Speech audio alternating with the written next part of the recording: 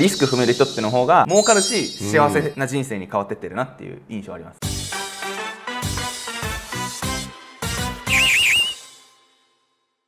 フランチャイズチャンネルが応援しているフランチャイズ加盟説明会はこちら。詳しくは概要欄から。フランチャイズの成功のポイントとは？ということで今日も青さんに来てもらってます。よろしくお願いします。よろしくお願いします。青さんもフランチャイズ始めてなんかフランチャイズってちょっとイメージ湧いてきたんじゃないですか。そうですね。まだフランチャイズ始めたばっかだけれどもこういうもんなんだなって見えてきた部分は増えてきました、ね、フランチャイズ始める前はフランチャイズってどうやるんだろうってめっちゃ思いませんでした？儲かるんだったら直営でいいじゃんって思ってましたけどやってみたらなんかあフランチャイズってこういう感じなんだって分かってきた。上でどういう人が成功するのか加盟者側ですかね。どんな人が成功する感じですか、結論もう熱量だなって思いました。動画キャンプってあんまオーナーさんにタスクがないんですよ、はい。不動産契約してって最初はもちろんあるんですけど、うん。その後って本部が集客するしで集客した後のバックオフィスも本部がやっちゃうのでオーナーさんがやることって広告費を決めるとか新しいローカル集客試してみるみたいな放置したって回るって回るんですけど熱量高いオーナーさんって不思議と儲かってるな。意外と論理的な因果関係ないんだけれどもレスが早いとか Facebook のところに毎回絶対いいねとかコメントしてくれるオーナーさんの校舎って成績がいいなっていう。最初の方のオーナー面談の時はビジネス戦闘力とか今までなんかマーケティングでこの日からしてきましたみたいなうん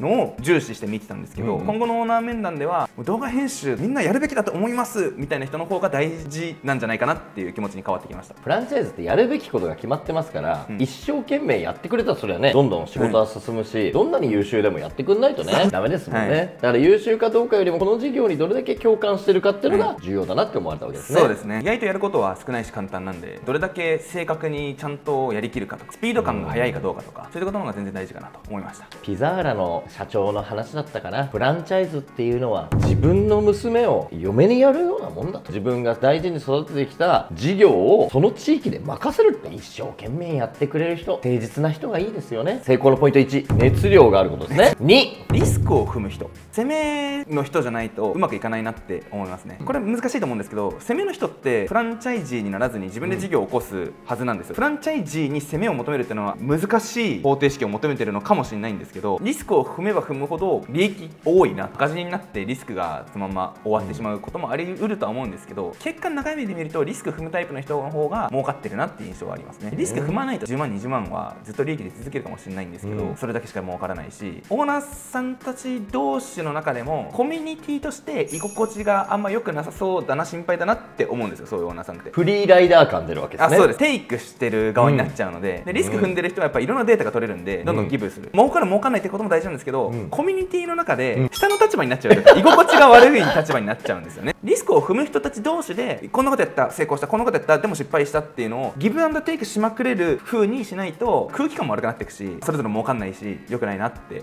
思いましたね。フランチャイズまだ加盟してない人はねイメージ湧かないかもしれないですけどそのオーナーさんの中でめっちゃ情報提供してくれるめっちゃ教えてくれるオーナーさんとなんかあんま書き込みもないし隅っこのオーナーさんとこうだんだん分かれてくる。だからリスクを取ってる人はそういろんな実験をしてるしこの広告が当たった。こういうことをしてみたんだけどこれが失敗したとかいうのがどんどん情報提供できるからね。そうすると「なねオーナーあざっすあざっす」みたいな感じでみんながね集まっていくんですよね。だから事業のやりがいとかも加盟してるオーナーさんなんだけど本部のノウハウをブラッシュアップしていってみんなに教えてあげるみたいな人が登場するんですよね、そうです。そうするとやっぱオーナーさんもやりがいがより出てくるっていうかね、有名な王さんからも「さすがですありがとうございます」とか言うコメント来るとちょっと嬉しいみたいな。ねあくまでも人と人なんで人同士の居心地の良さみたいなところも考えるとリスク踏める人っての方が儲かるし幸せな人生に変わってってるなっていう印象あります、というわけで熱量があってリスクを取れる人がフランチャイズ成功するらしいですよ、さあけど動画編集キャンプあれだよね次の動画で詳しく聞くけどみんなうまくいってるからねうまくいくをどこに定義づけるか次第なんですけど、いよいよね小さい町にも登場してきてるんでゼロ時募集の主要なところは全部回収終わっちゃったんでしょ？僕がその把握してないん。変な出費がなければ会社は終わってるはずですね、開始して何年なんですかもう。フランチャイズ展開。と半年ぐらいですね、は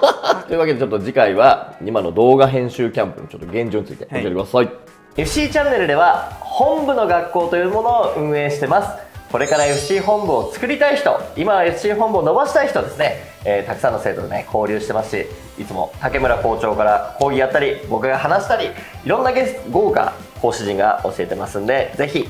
たくさんの人に参加してほしいと思います。はい。僕もかなりレベルの高い話してますんで